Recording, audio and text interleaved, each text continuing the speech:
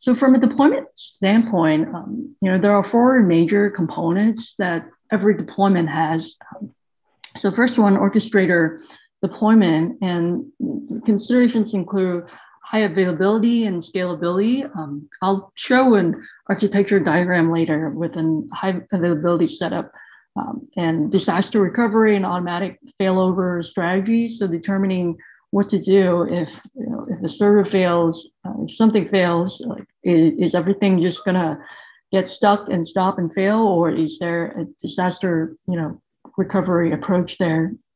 And then uh, considering whether you want to do it on-prem or cloud-based, um, that also is a decision that um, the robot deployment also um, touches on. Um, nowadays, we have on-prem and cloud-based option. A few years ago, it's mostly it's just on-prem, but nowadays there there are a few things that we we, we would look at in order to um, determine that, and we'll go over that. And then operating system environment, you know, Windows workstation environment or Windows Server environment, operating infra environment, VDI or VM, you know, underlying subsystem availability and integration, ease of upscaling during peak loads and off-peak downscaling. So if you have a process that, um, that where the volume is not always consistent, then you know, how to handle and manage the resources of the robot in peak periods versus um, periods where volume is low. So that's a consideration as well. So let's talk a bit about on-prem versus cloud-based. So this usually comes down to the availability of resources. The on-prem deployment can be costly um, to spin up, especially if you know if the client is trying to do ML or DU.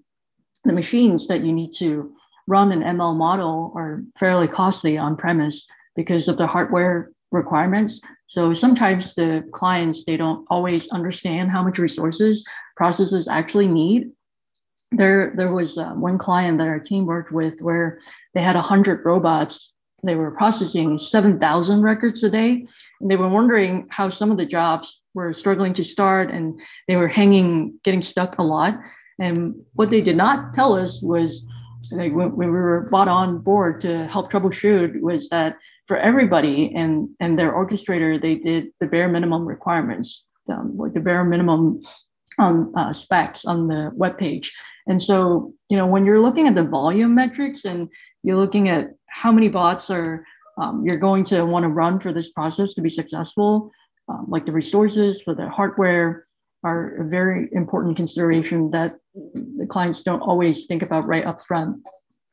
Another uh, difference between on-prem and cloud-based is, for example, you know, there are several clients where their security policies make it impossible or very difficult to use cloud-based. One example is um, HIPAA data, you know, for hospitals or even, you know, sometimes banks, you know, high security environments. So HIPAA data, sensitive data, they often cannot be processed through any of our cloud products. So if you're working with someone like, you know, hospitals or Kaiser or Anthem, Blue Cross Blue Shield, um, any place that's going to be processing uh, medical data, it's pretty much guaranteed that it's going to have to be on-prem. Um, so, you know, those are the kinds of things that we, we think about when when we make that uh, cloud versus on on-prem consideration. And then um, package deployment. So for package deployment, there are many ways to go about that. We've seen several clients approaching it different ways.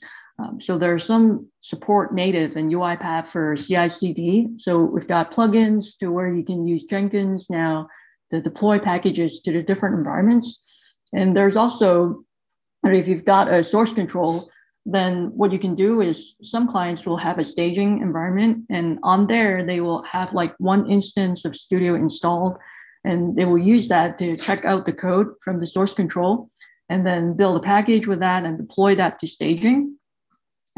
And then um, you know there's the just publishing the package directly from dev into the staging folder and then from staging into production um, there's an option to, you, you can just manually upload the package into the production server. Um, some people do that. Uh, so there are any number of different ways we've seen um, package deployment going. Um, the main consideration there is you want to be, as, you, you want it to be a scalable way where you can track and deploy even as your program scales up. Um, and um, you know, one question from the last solution architect training we got was, at what stage do we normally see clients go to a source control, a good source control? You know, the first automation maybe just a pilot or POC, so they might not necessarily do that on day one as they're just learning the process. So how how early should they get something in terms of version control rather than just you know going to deploying packages to either dev or test or even production environments.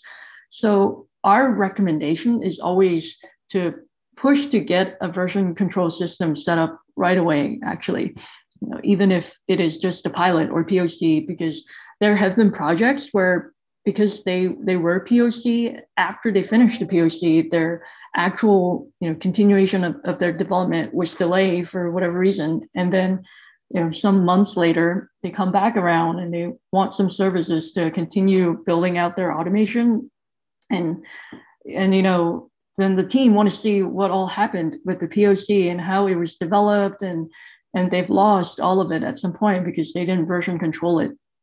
So you know ultimately it's gonna expand your effort and timeline if um, if it's not you know uh, kept track of well. So we recommend um, using version control as soon as you can. So that's one of the risks.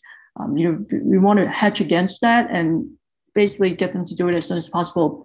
Um, but if they don't want to do version control for the POC because it's just a small little thing, and you know I don't know if it's going to work, and if they're going to want to keep going and setting up version control, it seems like too much of a headache, too much effort upfront, um, just to prove out that one small little process with no r- real volume.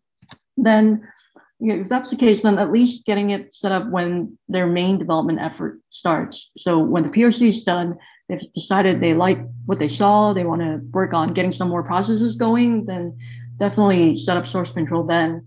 Um, you know, especially if it's a client who wants to spin up a full COE, it's gonna it's it's a good time to get it in there and you know let them know that the CI/CD is a good practice to get started right away. So, um, you know, moving on to credential deployment, um, there are, again, a lot of different ways to manage credential deployment. There are some clients where they will have their security IT teams just go into production orchestrator and manually add any of the assets with credentials because they don't want anyone else to see what's going on with that. Um, there are times when it's not a best practice, but but we've seen it. So just letting you guys know, there are times when there have been clients who had all of their credentials in an Excel spreadsheet, and and the Excel sheet was in an encrypted share drive, so it was at least marginally protected. What they did was at the beginning of the process, every time they would unlock that drive location, open the Excel spreadsheet, and they would you know just pull whatever assets needed for credentials out of there as the process was running so obviously, it's it's a bad idea um, that they didn't like that the credentials were in Orchestrator where quote unquote anyone could get at them. Um, so they liked that it was just in a secure folder on the network that was hidden from everybody. And another way, uh, a common way, is uh, using the Windows Credentials Manager. Um, so you can use the Credential Manager uh, with an on-prem server. Basically, the credentials themselves, when you're using Windows Credential Manager, they don't travel between the robot machine and the orchestrator machine. Um, so what happens is the robot is pulling the orchestrator and when it hits the orchestrator and sees that there are tasks it needs to do, the orchestrator sends back a response.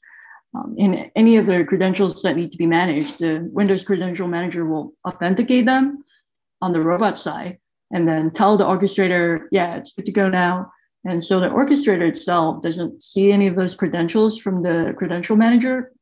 It just double checks with the credential manager that everything is okay. Um, so some clients use use this approach, um, use their Windows credential manager on everything. Um, so it's a common practice to manage it. So some questions from the group. Uh, you know, what, what are uh, some considerations that you had to make or you have seen that's not already on the slide here. Any anything on any of the bullet points here that hits you?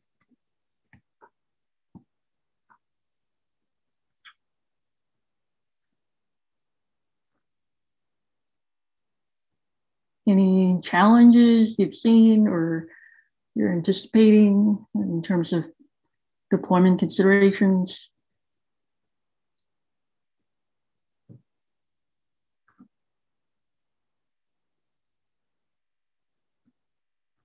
Pretty, pretty straightforward. Okay, so let's get on to the deployment options then.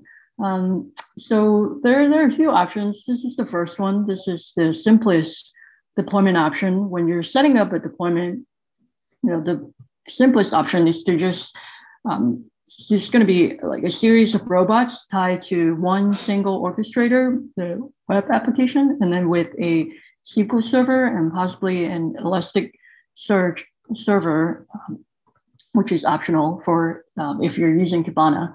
So that's about as basic as you can get. Um, the Elasticsearch is a NoSQL um, distributed full text database and search engine. So this the the Elasticsearch database is document based rather than you know using classic database tables and it does not require a specific schema for the data being stored. So the advantage is, you know, there's a lot of flexibility and this flexibility allows UiPath to send log messages without specifying in advance what fields are there. So the named index and Elasticsearch may have a very different structure, but can still be retrieved and, and queried um, very efficiently and quickly. And then for Kibana, um, in case you, you're looking at it, it's an open source analytics and visualization platform designed to you know, work in combination with Elasticsearch. Um, and it helps you create custom views based on the logs that you collected um, that you send to Elasticsearch. In our case, the ones sent by robots. Basically, use Kibana to search, view, and interact with data stored in Elasticsearch indexes. Here example of, um, of another setup. Um, this one is high performance, high availability deployment. So you've got all of the robots, but they, they're load balance between two orchestrators instead of one. And then you've got the Redis um, master in the middle to keep the two orchestrators in sync with each other so that they know what's going on. Um, and so the load balancer helps keep it high performance because it distributes the robots across the orchestrators, but it also makes it high availability. So using the load balancer to direct all of the traffic to just one orchestrator if the other orchestrator goes down. And then when we look at disaster recovery, we've got the high performance, high availability orchestrator set up over here on the left. And then we've got the disaster recovery data center um, on the right. And so for some reason, if for some reason both of your orchestrators go down and you can't load balance between the two of them, then you've got a copy of your environment over in the data center. So depending on how often um, they make snapshots of the SQL server, there may be instances where if the orchestrator goes down in the middle of the process, it might not be able to pick up where it left off because the information from that SQL server might not have been snapshotted and moved over. So when you're looking at disaster recovery, one of the considerations you need to um, talk with the client about is if some kind of disaster happens, how recoverable do they want it to be? So let's say if you've got a process with like 100,000 records, and you're 50,000 of them in and it dies, if it fails over to the data or recovery center, do you want it to be able to pick up exactly where it left off with those 50,000?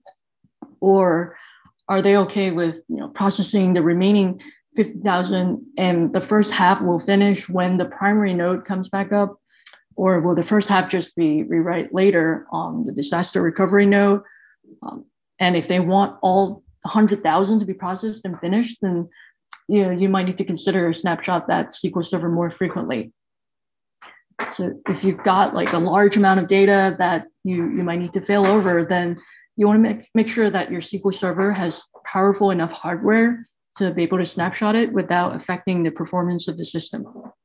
And whether you want the primary SQL Server snapshot to be you know, daily or multiple times a day, or if for some reason you think it needs to be snapshot like once a minute, um, then you know, be sure to consider what kind of hardware you would need to, to be able to pull that off. So those are you know some of the considerations that you would need to think about.